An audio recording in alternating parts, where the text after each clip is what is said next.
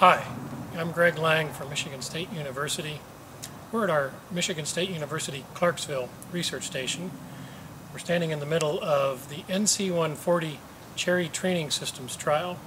This is a very innovative project that has multiple locations throughout North America, ranging from Mexico to the U.S. to North America. And this is the trial site in Michigan. We have sweet cherry trees on three different rootstocks, a very, very dwarfing rootstock, Gisela 3, a dwarfing rootstock, Gisela 5, and a vigorous rootstock, Gisela 6. With those trees on those three rootstocks, we've imposed four different training systems. High density, pedestrian orchard, intensive training systems. So our focus of this project is to look at the interaction between uh, vigor control within a tree by rootstock and how that canopy of the tree is developed through the training system.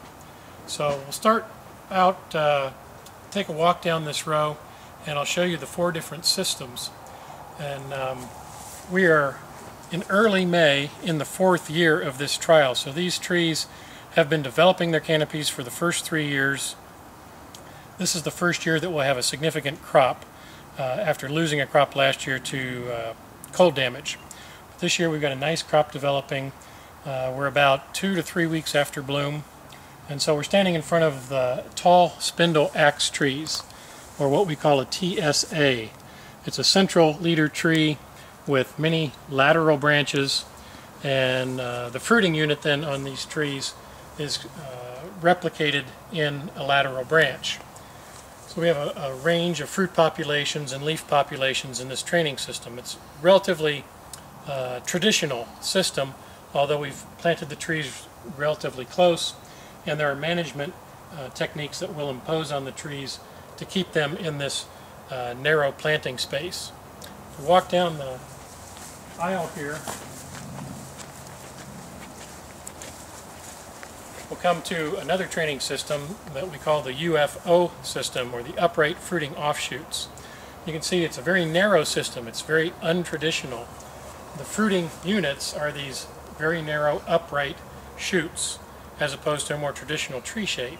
So it's a almost a fruiting wall type canopy architecture. And that's one of the innovative aspects to this whole trial. We have two different fruiting wall architectures and then two somewhat traditional architectures, but we're growing them in a pedestrian high density type setting. Go a little further.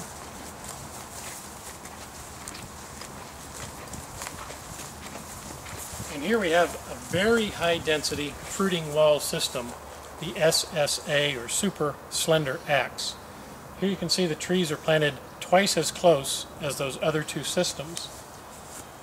The trees are grown very narrowly and they're pruned very severely. There's a very specific way that we prune these trees developed by a researcher in Italy and the idea is to create a fruiting wall similarly to the UFO but it's being done in a very different manner uh, which I won't go into at this time. See very nice cropping. Um, this is the most productive, early productive system of the four systems we've been testing. We had fruit on these trees in the second year. And then if we'll finish off with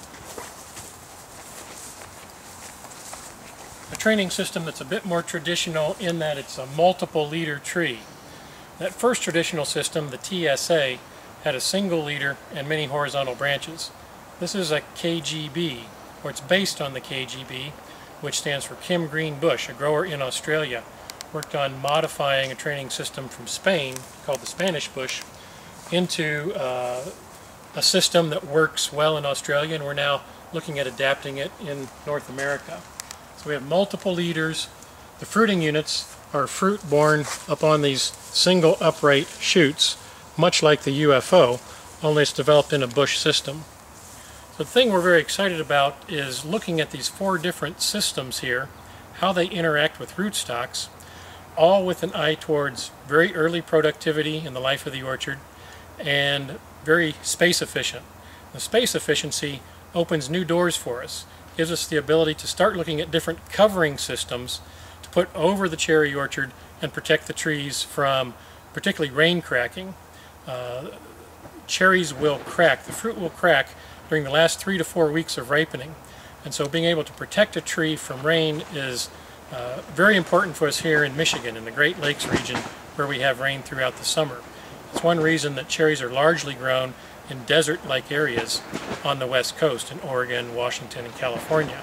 So when you have a more space-efficient canopy, and one that comes into production earlier, it changes the economics of cherry production, particularly for those of us in rainy conditions like Michigan.